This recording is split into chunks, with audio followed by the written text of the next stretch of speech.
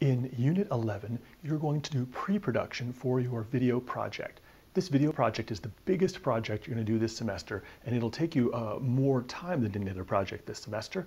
But before you can start shooting it, you've got to do pre-production.